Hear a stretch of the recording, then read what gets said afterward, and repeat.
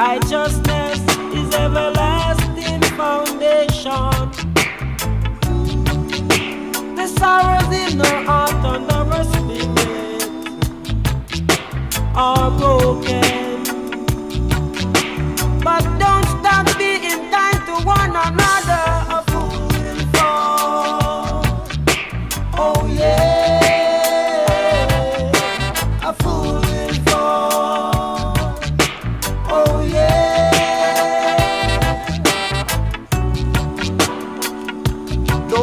cannot stand over.